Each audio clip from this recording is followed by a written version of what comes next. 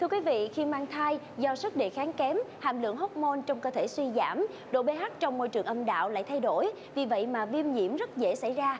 Tuy nhiên các thai phụ thì lại rất lo lắng cho sức khỏe của thai nhi, vì vậy họ có thể là không điều trị, điều trị không dứt điểm hoặc là không đúng cách. Điều này sẽ gây ảnh hưởng không nhỏ đến sức khỏe của bà mẹ và cả em bé.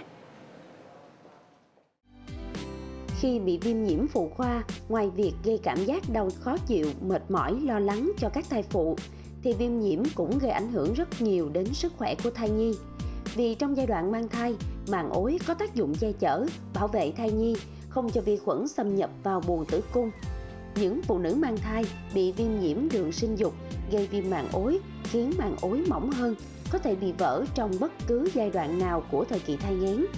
Khi màng ối vỡ thì nhiệm vụ bảo vệ cho thai sẽ không còn, dẫn đến nguy cơ bị nhiễm trùng ối, vỡ ối non rất nguy hiểm do thai nhi còn non tháng.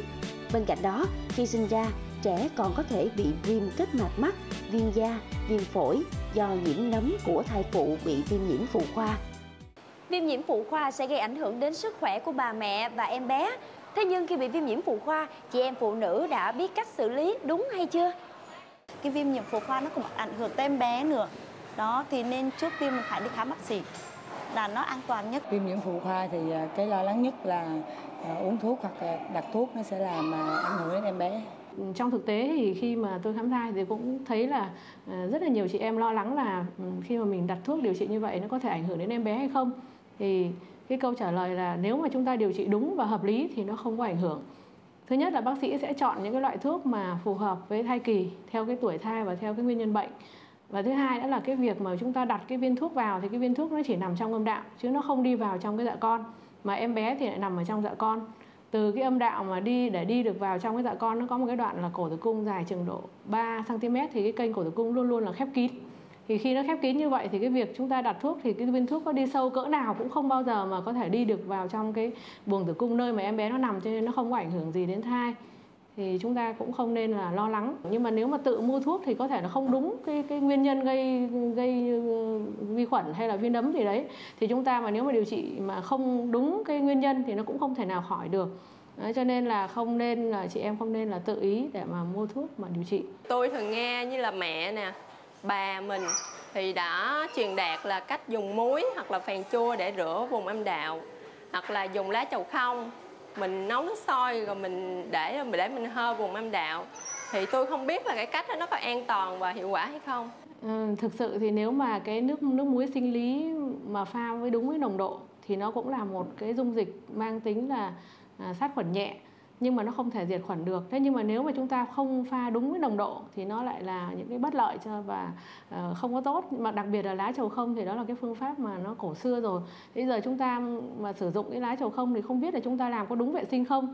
Thì có khi là cái việc mà chính cái việc mà chúng ta rửa đấy có khi không những mà làm cho nó sạch hơn mà có khi lại nhiễm khuẩn thêm nữa.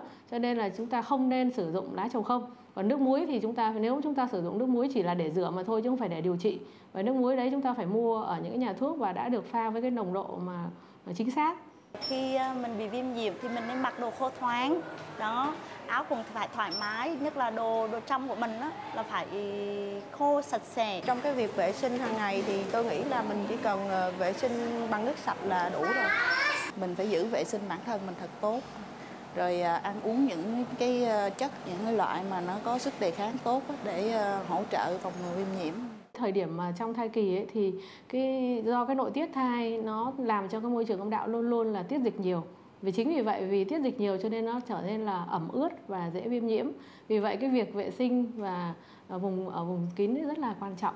Ờ, thì thứ nhất là chị em mình thì nên chọn những cái loại quần lót mà cô tông mềm mà hơi rộng một chút.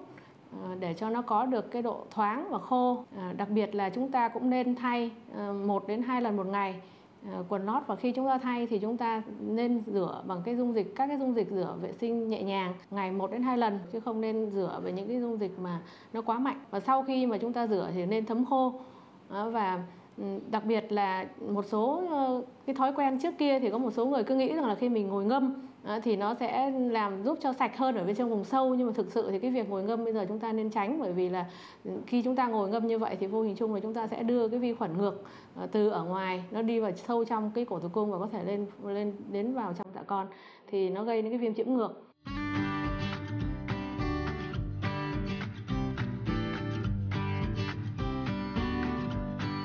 Sao tới hôm nay thấy khỏe không tới lúc này vẫn khỏe thấy vẫn đi lại rồi khỏe quá quá chừng ờ, à, đứa này đứa thứ mấy rồi ta ừ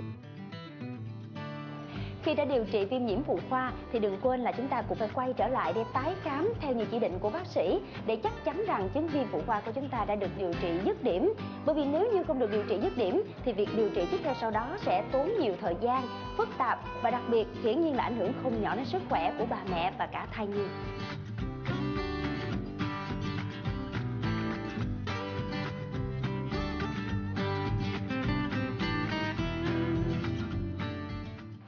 Hy vọng là từ những tư vấn của bác sĩ ngày hôm nay sẽ giúp cho các thai phụ có thêm kinh nghiệm trong việc điều trị viêm nhiễm phụ khoa trong quá trình mang thai để bảo vệ sức khỏe cho cả bà mẹ và em bé. Tuy nhiên thì viêm nhiễm phụ khoa dễ mắc nhưng lại có khả năng tái phát cao. Vì vậy xin mời quý vị chúng ta sẽ cùng xem qua những lưu ý từ bác sĩ và chương trình ngày hôm nay để có thể phòng ngừa và điều trị viêm nhiễm phụ khoa thật hiệu quả nhé. Để phòng ngừa và điều trị viêm nhiễm phụ khoa, các thai phụ cần lưu ý. Khi có dấu hiệu bị bệnh viêm nhiễm phụ khoa, thai phụ cần đến ngay bệnh viện hay phòng khám chuyên khoa phụ sản để khám và điều trị kịp thời. Điều trị đầy đủ về thời gian và thuốc theo đơn của bác sĩ. Tránh mặc quần chật nên mặc đồ thoáng nhẹ, nhất là trong thời tiết nóng ẩm. Nên tắm bằng vòi sen, tránh ngâm mình lâu trong nước. Tránh dùng xà phòng hay dung dịch có chất tẩy mạnh. Luôn giữ khô, sạch và vệ sinh vùng kính hàng ngày bằng dung dịch vệ sinh phụ nữ có thành phần tự nhiên, an toàn, phù hợp sinh lý vùng kính phụ nữ Á Đông, không ảnh hưởng độ pH vùng kính.